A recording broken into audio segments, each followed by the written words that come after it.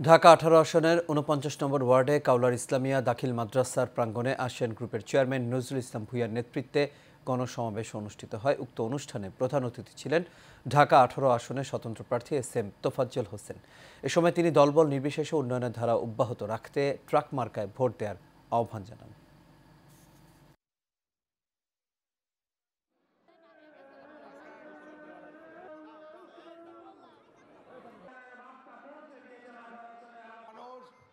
যত শান্তভাবে খায়